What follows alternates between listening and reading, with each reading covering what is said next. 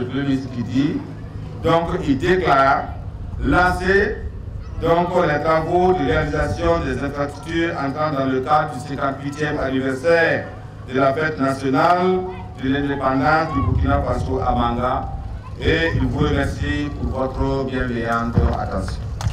Les travaux euh, entrant dans le cadre du 58e anniversaire de l'accession de notre pays à l'indépendance, donc euh, qui les, dont les activités vont se tenir à Manga ici.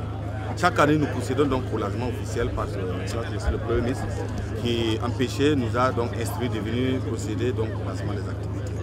C'est au total un programme global de plus de 26 milliards qui vont être investis donc, dans cette région du centre-sud. Nous n'avons pas encore fait l'évaluation globale, mais nous savons que ça va peut-être dépasser ça.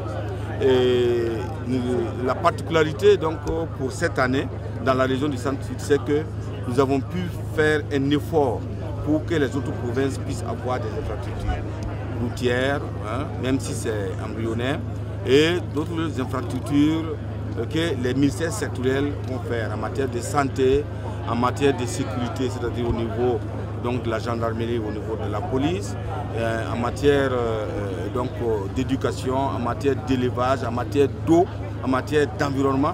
Donc le, le, Premier ministre a instruit tous les ministères sectoriels d'investir massivement dans cette région et c'est ce qui À partir de maintenant, donc tout manga, y compris donc les zones des autres provinces concernées, donc, seront donc en chantier de façon globale. La saison de pluie va un peu ralentir à un moment donné, mais donc les travaux sont lancés. Je pense que ça va faire tout nous faisons.